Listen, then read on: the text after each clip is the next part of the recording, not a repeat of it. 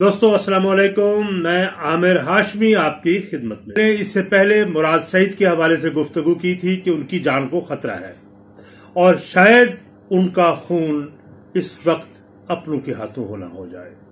बहरहाल उस पर बड़ी लेदे हुई बातचीत भी होती रही, लेकिन कल पूरे मुल्क के सियासी हलकों में एक ही बात को मौजूद गुफ्तगु बनाया गया कि पहले तो पीटीआई की सहूलतकारी सुप्रीम कोर्ट और हाई कोर्ट के जजेस कर रहे थे, लेकिन अब इंसदाद दहशत गर्दी की अदालतें और एंटी करप्शन कोर्ट्स जो है, वो भी पेश पेश है।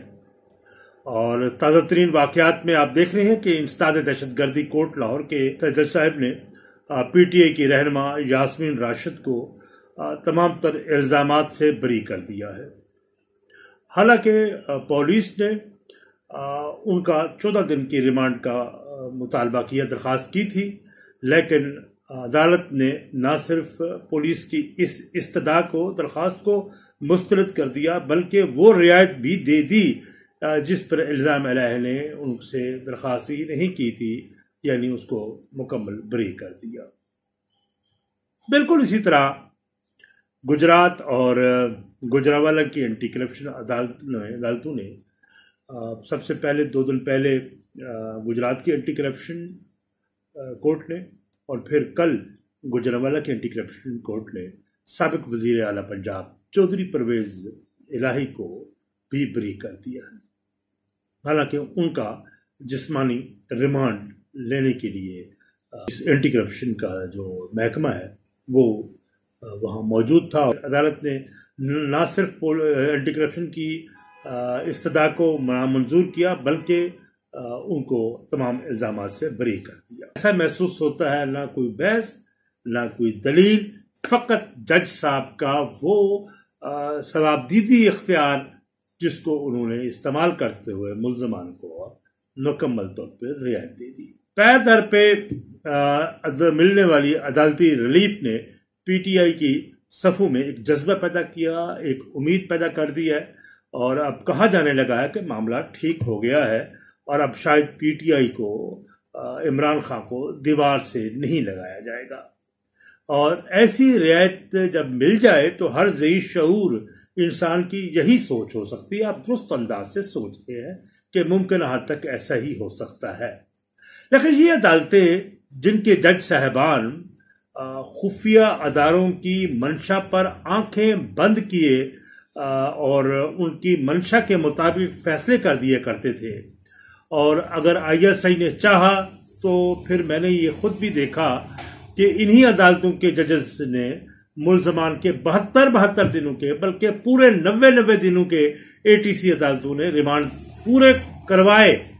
जिसमानी रिमांड पूरे करवाए, मुलजमान रोते थे, धाड़े मार के रोते थे, और यकीनी उन पर नाजायज मुकदमात भी होते थे। और अपने पर होने वाले जुल्म की दास्तानें सुनाते हुए जजेस साहब उनको की दरखो दरख्वास्त करते थे कि उन्हें तफ्तीश के लिए दोबारा इन भेड़ियों के हवाले ना किया जाए।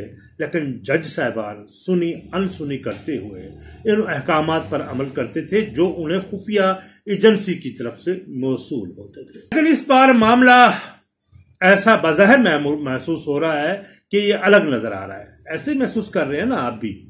मैं भी ऐसे महसूस कर रहा हूँ। लेकिन ऐसा हमें जो बज़ाहिर नज़र आ रहा है है कवाकब, नज़र आता है कुछ। और जिस तरह जासमिन राशिद के हवाले से एक बात पर सब अब मुतफिक हो चुके हैं कि ये रियायत दरअसल रूलिंग लीड की क्लास की खातून खतीजा शाह को, के पेश नज़र जो मिलने हैं उसको रियायत, उसको भी रिहाई इन्हीं अदासी अदालतें देनी है। उसके पेश नज़र राशमीन राशद को भी रियायत मिल गई है। अगर ना, यही अदालतें हैं, जो मैं जिन्हें कसाब खाना कहा करता था किसी दौर में, यही अदालतें हैं, जहाँ से मुलजमान को बगैर किसी कसूर के लोग फांसियाँ चढ़ जाते थे और दो दो दो, तीन तीन साल के बाद पता चलता था कि वो मुलजमान बेकसूर थे। अब दूसरी तरफ़ हम एटीसी कोर्ट के अलावा अब हम एंटी करप्शन कोर्ट की तरफ़ जाते हैं, कि आखिर एंटी करप्शन कोर्ट में क्या हुआ? तो एंटी करप्शन कोर्ट में हमने ये देख रहे हैं कि जो गुजरात में जो चौधरी परवेज लाई को रियायत मिली, फिर उनको ब्री किया गया। गुजरावाला में उनको ब्री किया गया। तो उसको आप ये बात जान लीजिए कि इसमें चौधरी शुजात हुसैन उस रियायत दिलवाने में पेश पेश है। आखिर खून है, कज़न भी है और भाई भी है। ये तो चौधरी शुजात हुसैन समझ रहे हैं, उन्होंने कहा भी कि चौधरी परवेज लाई की सियासत को तबाह करने में उसका बेटा मुन सलाई का पेशे कार्य फरमा रहा। अब, चौधरी शुजात हुसैन परवेज अलाई के लिए न सिर्फ़ रियायत, बल्कि उनकी लफ्जों की, उनकी खताओं को दरगुजर करने की भी दरख्वास्त कर रहे हैं। और मुमकिन हद तक के चौधरी परवेज अलाई जब वो कह रहे थे, मैं प्रेस कॉन्फ्रेंस नहीं करूँगा, यानी कि मैं पीटीआई को नहीं छोड़ूँगा। तो लेकिन मेरा ख्याल है कि इस आशकी में इज़्ज़त सादात भी गई। अगर वो प्रेस कॉन्फ्रेंस करने के बाद वो आते तो मामला कुछ और होता। लेकिन अब ये बात जान लीजिए कि एक तो अदालत की तरफ़ से उन्हें रिलीफ मिला, दिलवाया गया। और जब वो उनको रिलीफ मिल जाए, अदालतों से रिलीफ मिल जाएगा और बाइज़त मंदाना अंदाज से वो तमाम इल्ज़ाम से बरी होकर बाहर आएँगे तो ऐसा मुझे नज़र आ रहा है कि वो प्रेस कॉन्फ्रेंस ज़रूर करेंगे। क्योंकि उनको भी ये एहसास हो चुका है कि पीटीआई में उनका कोई सियासी मुस्तबिल नहीं है। क्योंकि शाह महमूद कुरेशी ने बड़े खूबसूरत और ऐसे अंदाज में वो पत्ते खेले हैं और उस बसात पर उन मोरू को बड़े खूबसूरत अंदाज में चापक दस्ती से, अकलमंदी से चलाया है। जिसकी तो शाह महमूद कुरैशी से तो कम अज कम मुझे ना थी, लेकिन वो बड़ा उसने चाबकदस्ती से और अक्लमंदी से उन मोरों को आगे पीछे किया है। और आज वो अगर जेल में है तो वो भी उन्हीं की अपनी मंशा और मर्ज़ी की से है। क्योंकि अगर वो चाहते तो जेल से बाहर पहले दिन ही आ जाते, लेकिन उनको जेल में बिठाया जा, बिठाया गया है। उसमें इस्टेब्लिशमेंट की भी मर्ज़ी है। बहरहाल ये इसका इल्म शायद मुनीर साहब के हवाले से कि आसफ मुनीर शाह साहब की क्या प्लानिंग है आप? पी टी आई के हवाले से और पी टी आई और इमरान खान के मुतालिक। तो इमरान खान के बारे में तो सब जानते हैं ना कि जनरल आसिफ मुनीर की तैनाती को रुकवाने के लिए उनतीस नवंबर से चंद माह पहले शुरू की गई मुहिम जिसे अदारे के अंदर से मदद मिली इमरान खान को उसको तईद मिली इमरान खान को उसको बल्कि हौसला अफजाई भी मिली। जो आज तक मिल रही है। इमरान खान के चश्मे तस्वर में जनरल आसिफ मुनीर को कमज़ोर रखकर मजमूम दो मकासद उसके जो है ना, वो पेशे नज़र थे। जनरल आसम को दबाव में इस कदर लाया जाए, पहला मकसद लाया जाए कि शायद वो मुस्तफ़ी हो जाए या कमज़ोर क्यादत में अदारा बहमी इख्तलाफात का शिकार बना रहे। और नौ और 10 मई के वाकयात पर पीटीआई की क्यादत और इमरान खान का इजहार इतमान और इसके अल्फाज का चुनाव और बॉडी लैंग्वेज ने उसे एक फातह का रूप पेश किया। बहरहाल, इमरान खान की जहनी पसमानगी सियासी अकल शहूर का फुकदान के नौ मई के वाक्य की संगीनी का वो अंदाज़ा ही ना कर सके। लेकिन याद रखें, आठ मई को जनरल आसफ मुनीर जिसे उस वक्त आठ मई को कमज़ोर तरीन पाकिस्तान की फौज का कमज़ोर तरीन एक आर्मी चीफ समझा जाने लगा था। लेकिन नौ मई के वाक्य के बाद बारह मई को वो पाकिस्तान की तारीख का सबसे ताकतवर तरीन सरबराह बनकर वो सामने आ चुका है। साने नौ मई का शाखसाना ही है कि सियासी आईनी हुकूमत की मौजूदगी में आज पत्ता पत्ता बूटा बूटा हिलने के लिए अलगज रियासत का एक ही कदारा सरकारी अहलकार, जनरल आसम मुरीर के इशारे अबरू के मुंतजर है।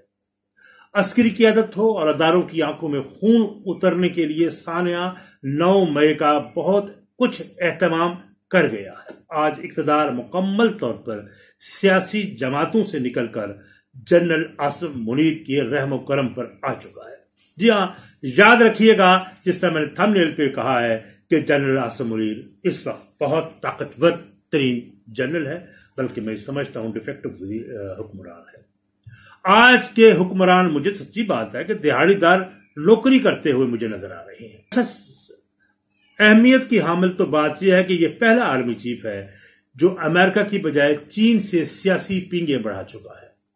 फौज को सियासत से दूर रखने का जो इरादा कर चुका था, इमरान खान का इंतकाम लेने वाला जज्बा ला इल्मी हवस इकतदार में वतन दुश्मनी ने जहाँ वतन को हलकान किया, वहाँ जनरल आसम को वतन मफाद में ज़बरदस्ती उसी राह पर डाल दिया, जिस पर उसके पेशराव जनरल चलते रहे।